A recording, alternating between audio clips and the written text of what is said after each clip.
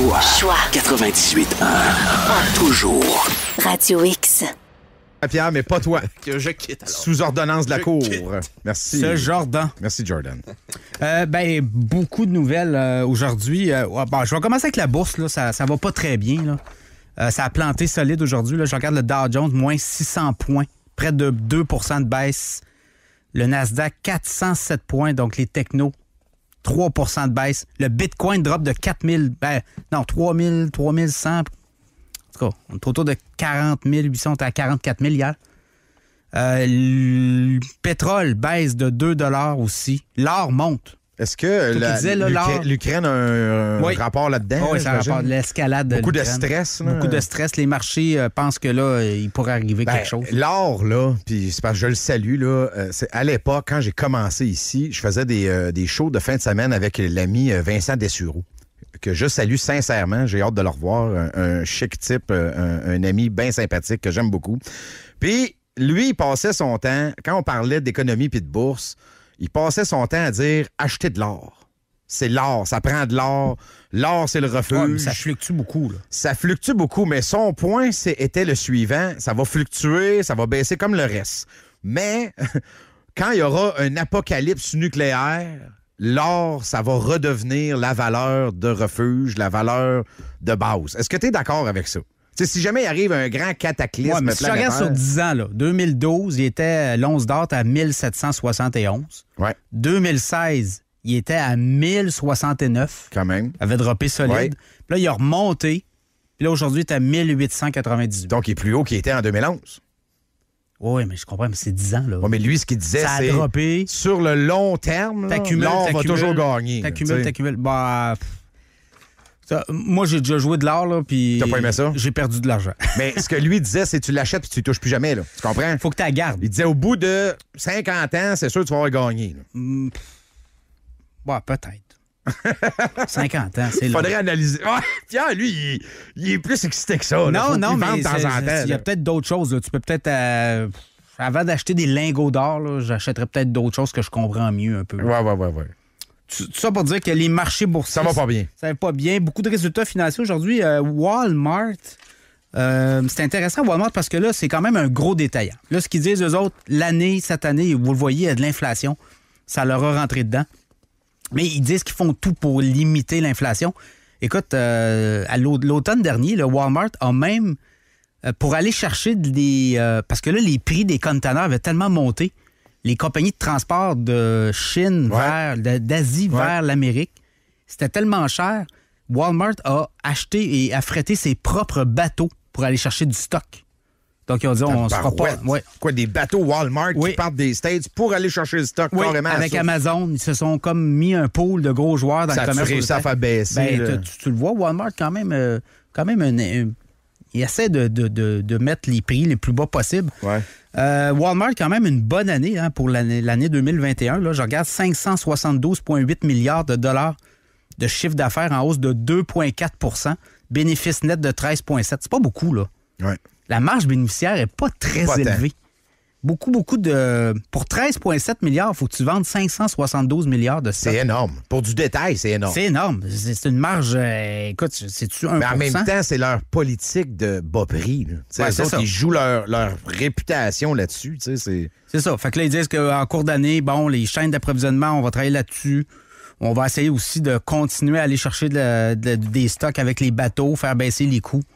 Parce que les grands groupes, quand tu passes, tu passes d'un prix de conteneur à 10 000 puis tu l'as à 35 000, Mais non. tu peux plus continuer à faire. euh, Ce qu'il y avait dans le container, il vaut plus cher automatiquement. ben oui. C'est Ikea qui a monté de 9% ses prix en début d'année. Ouais. Donc, euh, Walmart, euh, quand même une bonne année, là, mais ils vont essayer de travailler pour euh, pricer les prix. Euh, je regarde un peu plein de nouvelles. Chez Apple, ça brasse aussi. Euh, Tim Cook, parce que Tim Cook, euh, il a quand même eu un salaire de 99 millions de dollars. Oh, tabarouette, c'est le fun. Et, Je pensais t'allais euh, me dire 99 000, je t'aurais pas cru. là. 99 millions. Oui, ça a plus d'allure. Et là, c'est contesté. Il y a des actionnaires de Apple qui euh, trouvent que. Ah, c'est beaucoup. 100 millions de salaire. Ouais, mais parce que le- la compagnie. c'est va- Apple, je vois le vert. Ben, ils vont très bien. là. Ben, ils ont, ils ont pogné le 3000 milliards de capitalisation euh, dans les derniers mois. Ben oui. Je pense que c'est en début d'année. Ça a rebaissé un peu, là, mais ça va bien chez Apple. Là.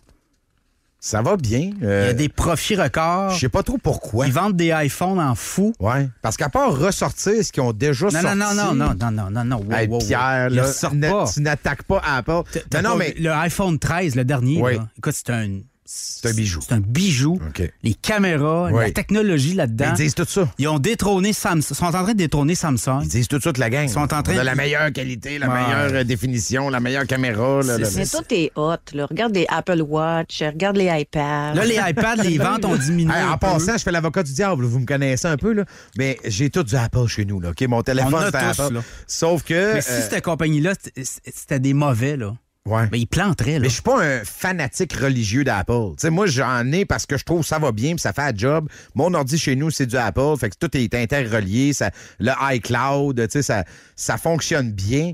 Mais je me pose tout temps la question pourquoi c'est aussi religieux, cette affaire-là? Il y a- il y, a du monde, là, c'est. C'est une messe. Il ne, Ouais. il ne jure que par Comme la petite pomme. là. Choisir son camp. hein, C'est comme. euh, Ouais. Mais Mais c'est moi, je déteste pas quelqu'un qui a un Samsung. là. Ça me- le, ça me- le salaire à Tim Ben, Cook. moi, j'en connais pas.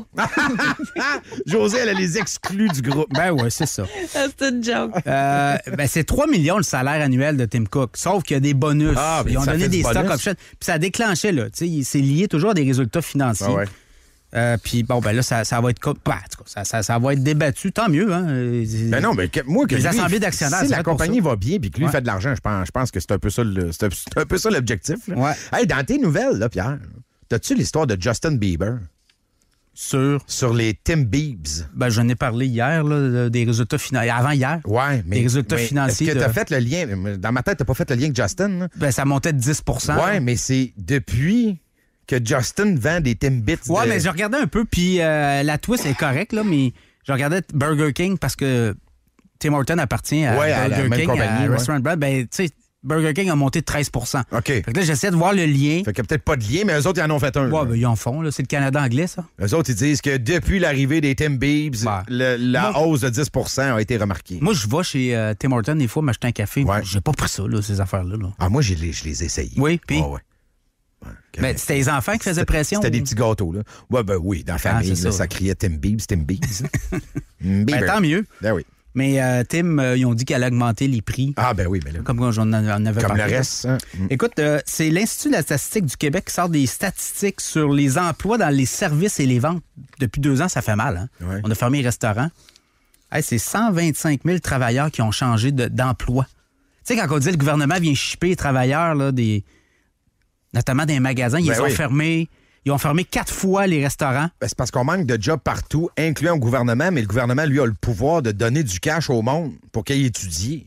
Tu Ouais, regarde, m'a pas- donné pas 10 juste 000 étudier. si tu viens étudier dans le domaine du gouvernement. Là, Mais pas juste étudier, là. Il y avait toute l'histoire d'un d'un CHSLD, Ouais, les bonus. des puis le- hôpitaux. ouais, ouais. Ben, Le- je 120 contribue. là, Il y a tout. 125 000 travailleurs qui ont viré de l'autre bord. Incroyable. Ils ne reviendront pas, là. Les autres sont au public. Là. Donc, pour les restaurateurs, ils ne reverront plus jamais euh, leur serveur, là. Il va falloir s'en Hey, ça va être compliqué. Fait qu'on va voir un chiffre.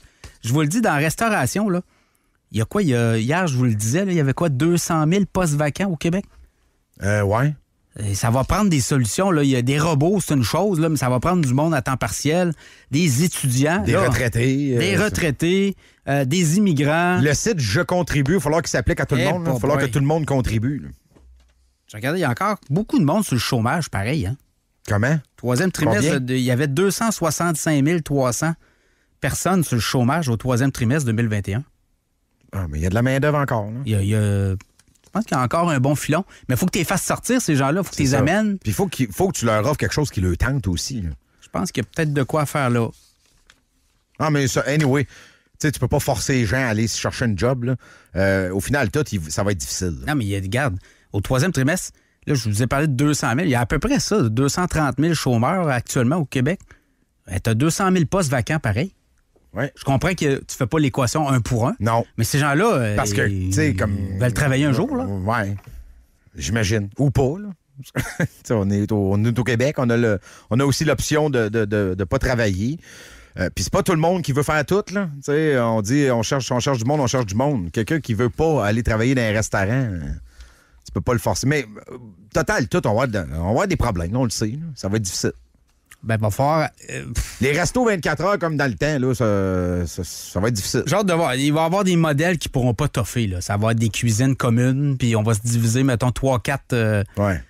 trois, quatre styles de cuisine, une cuisine commune, puis de la livraison, puis des applications, puis peut-être même pas de salle à manger. Ah ouais. Les ghost kitchen qu'on dit. Là. Ouais.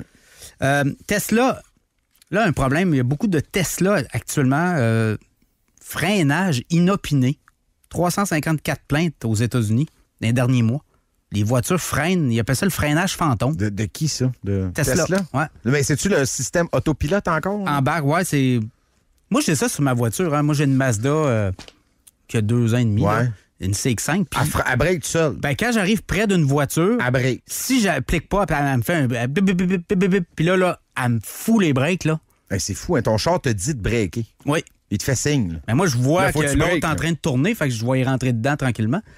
Mais je rentre pas dedans, mais il va il me break ça d'en face. Ah, ouais. Fait que, euh, ils font ça, là, les Tesla. Fait Mais que, ça, faut juste pas que ça soit dé- dé- défaillant. là. Parce que là, te faire breaker à 120 sur l'autoroute, Hey, ça, ça doit être plus raide un Tu peu. dois prendre une débarque. Là, Tesla est sous pression. Je voyais, il y a des reportages. Il y a un gars aux États-Unis qui a fait un reportage. Il a testé l'autopilote en plein, plein de situations. Ouais. C'était pas hier. Il y a encore du travail à faire. Ouais, mais ça. euh, Puis tu sais, Tesla, j'ai l'impression que des fois, on est, on est raide là, avec, avec eux autres. là. Puis on a des. Ouais, mais il- on a il- quelques chroniqueurs qui sont pas des fans non plus. là. Non. Mais ça reste, ça fait pas 50 ans qu'ils développent ça. C'est un nouveau produit, relativement nouveau quand on même. l'a dit, là, il y avait des phases. Là.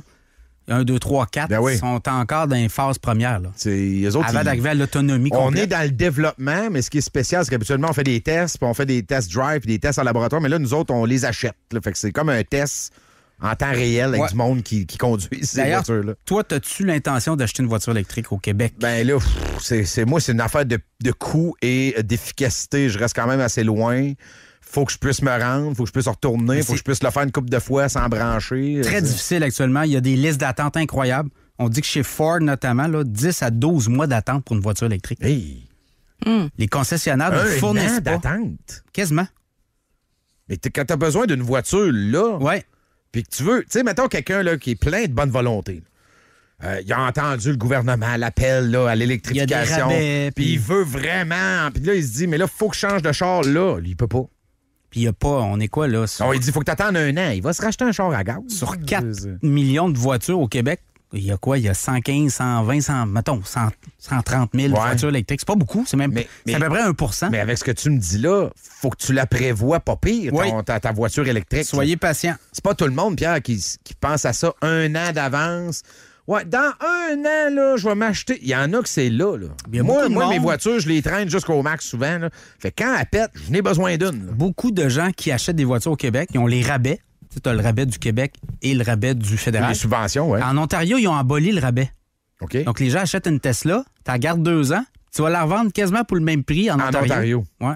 Fait que tu te fais financer de l'argent qui va revenir dans tes poches. Ben, en fait, ta, ta- voiture, elle t'a presque rien coûté. Ouais. Il y a quelqu'un à l'autre c'est- bord qui va l'acheter. C'est parce que, tu sais, on- Parce que le rabais Mais- est tellement important que tu es capable de compenser à valeur. Mais ça, au Québec, c'est souvent un de nos problèmes. C'est qu'on agit comme si on était un pays, mais on n'est pas un pays. On est isolé? On est quoi? On est. C'est plusieurs paliers là, où tu te rends compte que, ouais, mais c'est parce qu'on est au Canada.